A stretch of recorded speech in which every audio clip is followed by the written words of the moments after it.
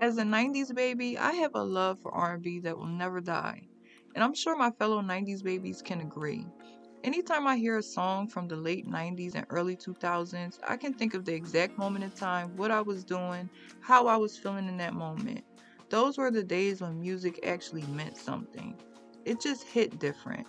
But a lot has changed in the music industry since then, and R&B just isn't the same.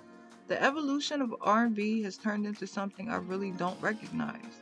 R&B is now a mix of R&B and hip hop thanks to artists like Drake. Before Drake, rappers singing on their tracks were unheard of, but Drake made it cool to do both.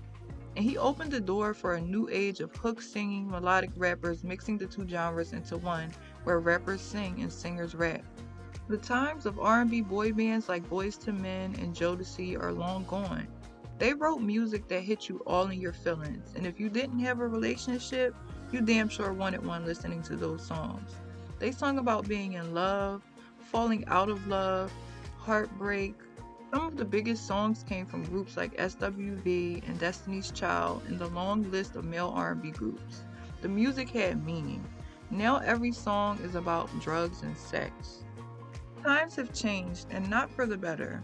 Don't get me wrong, I love the SZAs and the Jhené Aikos of the world, the cursive singers, but I wouldn't necessarily call those girls R&B artists. They created their own genre with their unique sound, but it still doesn't compare to a Brandy track or a Toni Braxton track or any other female R&B artist who dominated in the 90s. So many classics were born from the 90s R&B era, but somewhere lines got blurred and the R&B train left with all of the good music. People of today don't care about lyrics anymore. If it's catchy and they can dance to it, that's all that matters in today's world of music. It's all about the next viral TikTok song and dance. And unfortunately, good artists are overlooked because of this. Think about the last R&B song you heard on the radio. You probably can't because the genre is almost non-existent. There used to be a balance in music, but now everything sounds the same. Um, I can definitely say that music has changed on the radio uh, the stations that I grew up listening to that were more R&B, soul, pop, uh, and hip hop are now just dominated by rap, trap, and hip hop. But it is what it is. So I can definitely say that's the change that I've um, witnessed as far as mainstream radio is concerned. R&B was doing just fine before it turned into this musical fusion that we have today. It's simply not about good vocals anymore. Any famous SoundCloud rapper can put a little auto tune on their track, create a catchy melody, and it's considered singing, and it might even go viral. And everyone is doing it, so it becomes quantity over quality. The way the music industry is going now, I'm afraid that I won't have a Whitney Houston of my era, because great talent like that isn't important anymore. For example, Fantasia is probably the biggest thing to come out of American Idol with an amazing voice. But where is she? And why is she not bigger than she is now?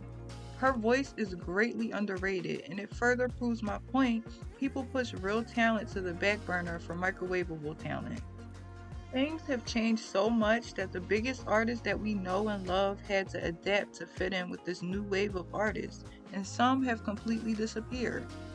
Music as a whole has changed into something unrecognizable from what it was in the 90s, and things evolve, but a whole genre has been practically erased because of the hip hop culture of today.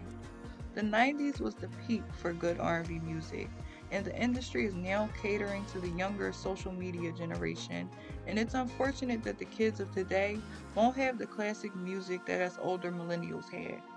As much as R&B contributed to music in general, I thought that it would stand the test of time. But change happens, and unfortunately, I don't think real R&B will ever go back to what it used to be. It's nothing left to the imagination in songs anymore. It's all about p-popping and sneaky links, because that's the culture right now. Rap and social media created the perfect storm for our lost culture today, and it reflects in the music. But as an R&B head myself, my R&B Will Never Die playlist will always be on repeat. How do y'all feel about the music of today?